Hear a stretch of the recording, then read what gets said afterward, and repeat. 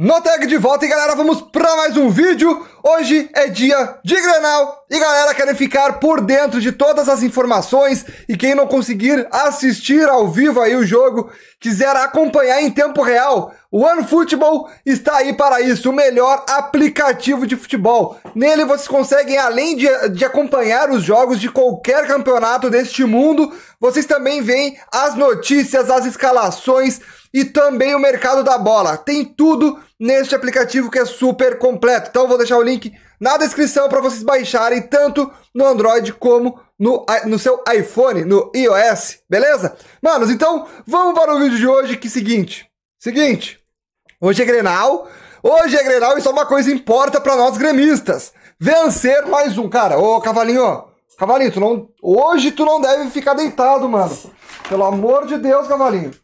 Hoje é Grenal, velho. Hoje é Grenal, cavalinho. Aqui, ó.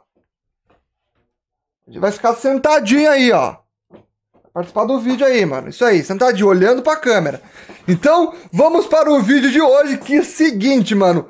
Temos duas informações. Na verdade, vamos falar do Grenal e também vamos falar de um caso aí que ontem surgiu e repercutiu nas redes sociais, que é do Douglas. Isso mesmo, o maestro pifador do H10 está livre no mercado. Ele rescindiu o contrato ontem com o Brasiliense. Mano, eu vou tentar mostrar uma foto de como é que tá o Douglas aí, tá?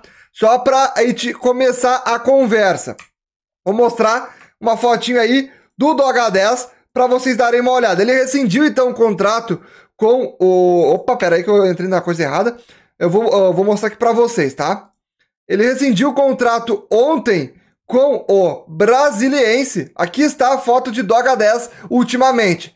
Mano, vou te dizer, tá, tá velho, tá velho, 38 anos, mas tá em forma, cara, tá, tá mais em forma que muito jogador aí na atividade, hein?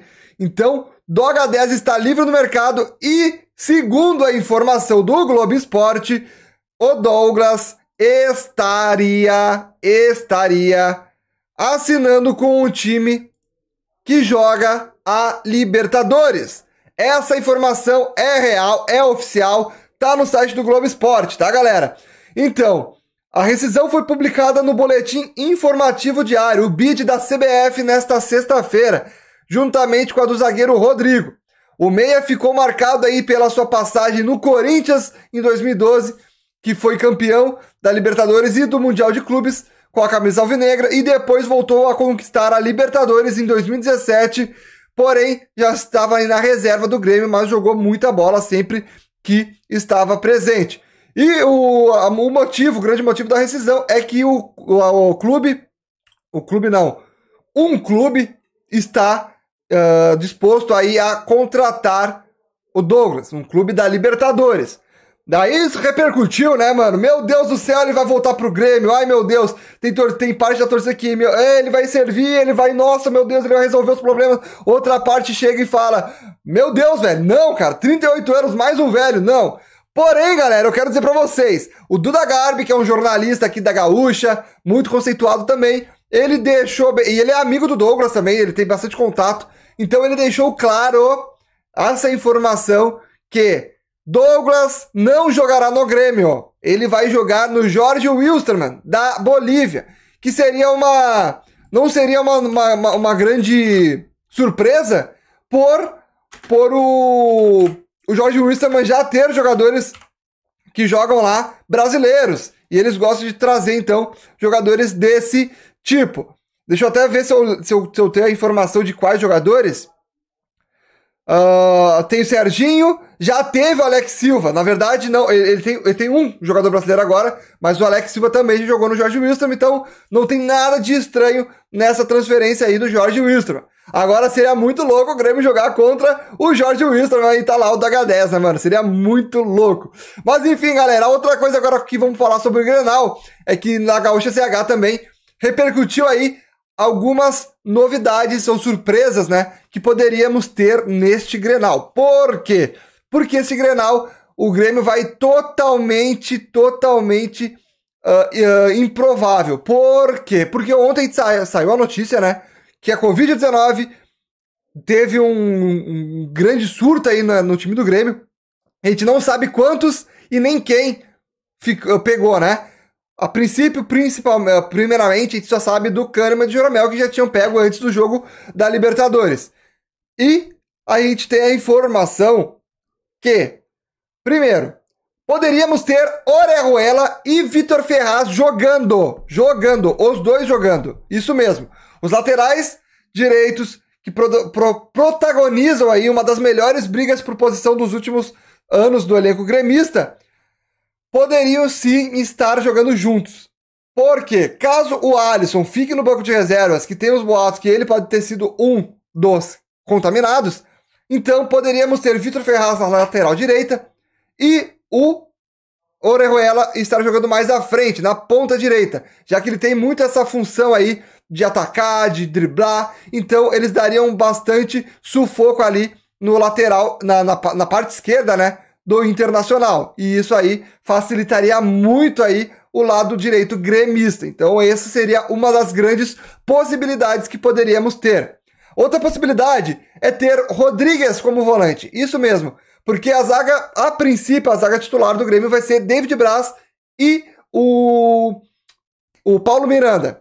Porém, o Renato pode estar em, em uh, pode estar improvisando, né? O Rodrigues como volante, caso tenhamos algum dos volantes com a Covid.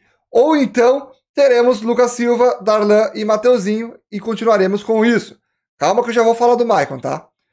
Diogo Barbosa titular, tem essa grande possibilidade também de estarmos tendo esse reforço na lateral esquerda, saindo Cortez e colocando o Diogo Barbosa mais uma vez como titular e de repente aí já engrenando para uma, uma, uma, uma, titularidade fixa de Diogo Barbosa, que eu tenho certeza que esse cara vai. Cara, não, não certeza, certeza eu não tenho de nada nessa vida, mas eu tenho 90% de certeza que esse cara vai pegar titularidade muito rápida. Então, ele vai. É, é um cara que vai auxiliar muito aí o PP Caso o PP jogue de fato, né? Que a princípio vai jogar. Agora outra, outra coisa, Ferreirinha e o PP juntos, isso mesmo. Se o Alisson não jogar, também tem a grande possibilidade de não termos um ponta mais recuado, mas termos o ponta lá na, na frente, de fato, sem ser um meia, né?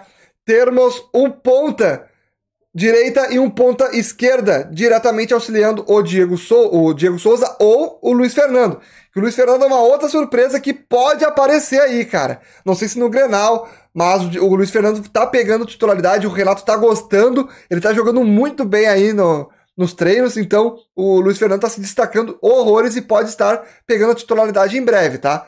E o Ferreirinha e o PP podem estar jogando juntos como titular neste Grenal. É uma grande possibilidade, mas nenhuma verdade, nenhum fato ainda. E o Maicon, grande Maicon, está recuperado. Há informações de que ele vai jogar esse Grenal. Não sabemos se vai começar no banco ou se vai começar no início. Mas se tiver algum dos contaminados do meio de campo ali, volante, com a Covid, o Maicon pode ser uma grande opção aí para estar começando como titular e de repente então o Rodrigues vai para reserva, ou quem sabe Rodrigues e Michael, não sei, mano. Vamos saber em breve, porque o quadro médico do Grêmio já avisou, o Grêmio avisou, né, que só vai informar a partir das 15 horas, próximo ao Grenal, sobre quem vai jogar, quem não vai jogar. Na verdade, quem vai jogar não. Quem está com a Covid e quem não está. Porque até lá, mano, é muito mistério e muita surpresa. Quero que vocês deixem nos comentários o que vocês acharam dessas notícias todas aí, mano. Eu sei que foi muita coisa. No, no, muitas notícias não, né? Mas sobre o, o lance do, do, do, do, H10, se vocês acham que realmente ele vai sair do pro Jorge Wilstermann, ou se vocês acham que o Grêmio tentaria. Mano, eu, eu, acho que sinceramente não, não dá mais pro Grêmio, tá? Eu acho que ele não tem mais o perfil pro Grêmio agora.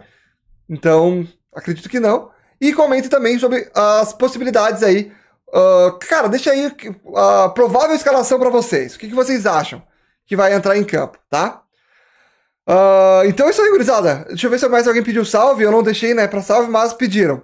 Uh, Samuel Murinelli, uh, Maurício Felipone, Feuzinho, Fúria da Noite, Anjinho do Céu. Deixa eu ver se tem mais alguém. Richard VN, J. Longatti, Cauã Pauli, Schmidt GG, Joãozinho Games, Diário de 1AJ, Samuel Marinelli mais uma vez, E um salve pro cachorro do Richard, que se chama Logan, e o gato dele, que é o Frederico. Salve aí para todo mundo, gurizada. Vamos que vamos, que hoje tem Grenal. Se pintar mais informações, alguma coisa muito importante, eu trago aqui antes do Grenal. Ou então, me aguardem que depois do Grenal estamos aí. Se tudo der certo, para comemorar mais uma vitória. Hoje, cara, eu, eu, mano, na moral, eu tô querendo que ele meta uns 3, uns 3 a 0 mas se for, mas o meu palpite é de 1 a 0 tricolor. Então vamos que vamos, que o bagulho vai ser louco. Se inscreva no canal, gurizada, pra deixar aquele, aquele, aquela, aquela... Deixa eu ver uma coisa. Deixa o likezão, né? Deixa o likezão também. E deixa eu até ver uma, uma, uma parada aqui, mano. A gente tá batendo os 196 mil, tá? Ou, não sei se já batemos. Mano, falta 20. 20, 20 inscritinhos aí, ó. 20 inscritinhos pra bater 196 mil inscritos. Então, Bate lá, mano, que daqui a pouco vai chegar nos 200. E não se esqueçam também de me seguir nas redes sociais, que é muito importante. Marlon NTG, que tá rolando sorteio lá também, hein? Sorteiozinho da camisa do Grêmio e mais outras coisas. E o Twitter é no Tag Foot. No Tag Foot. Fechou? É nós. Falou. Tamo junto.